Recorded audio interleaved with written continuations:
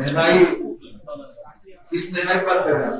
अरे diesel petrol भी ले लीजिए सौ के ऊपर जा रहा है। गैस नौ से गैस नौ सौ से ऊपर जा रहा है। डीजल हो पेट्रोल हो सरसों तेल हो रिफाइंड हो सभी सभी में महँगाई का महँगाई। तनख्वाह भी तो बढ़ी है।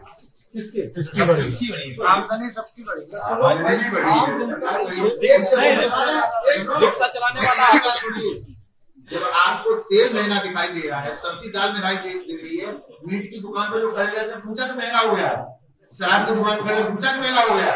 नहीं पूछते ना? शराब की दुकान में लंबी लाइन लगती है पूछा महँगी होगी कि नहीं होगी?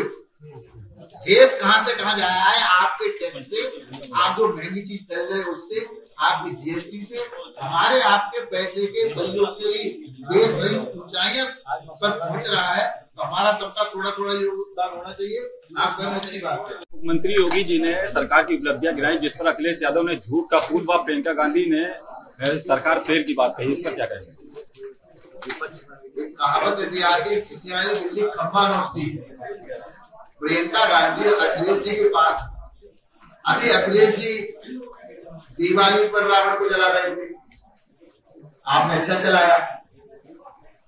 तो क्या प्रियंका के बारे में कहें क्या अखिलेश जी के बारे में कहें लेकिन जनता है, सब जानती है, विपक्ष को आलोचना करने का अधिकार है।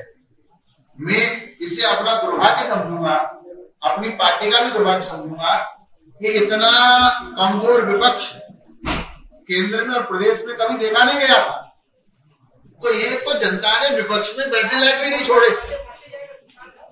तो तो है तो है।